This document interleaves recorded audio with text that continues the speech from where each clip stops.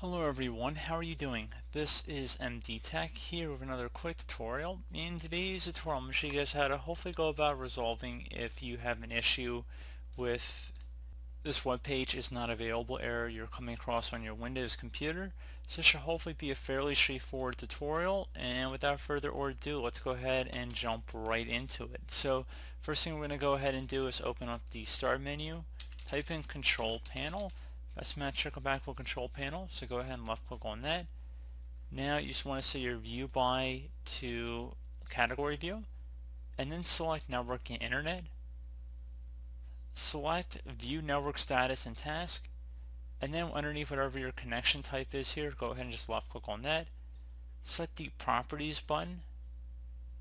Select internet protocol version 4 parentheses TCP slash IPv4 and select properties you want to select use the following DNS server address and this will be Google's own public DNS server here.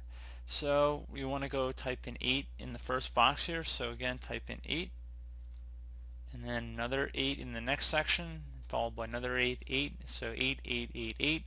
Alternate should be 8, 8, 4, 4.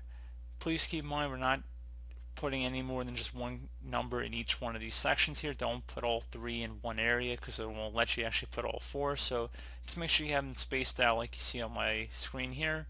And then go ahead and left click on OK to save the change.